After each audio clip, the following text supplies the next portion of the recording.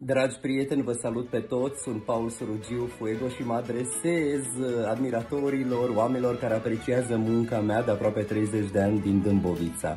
Sunt fericit pentru că revin la Târgoviște pe data de 2 iunie în cadrul proiectului Zilele județului Dâmbovița. Pe data de 2 iunie voi urca pe scenă alături de minunata dumneavoastră orchestră Tindia și voi interpreta cele mai frumoase cântece tradiționale, populare, românești. Vă aștept la un spectacol pe care mi-l doresc românesc din toate punctele de vedere. Haideți pe 2 iunie să sărbătorim împreună județul și să fiți alături de mine și de colegii mei români.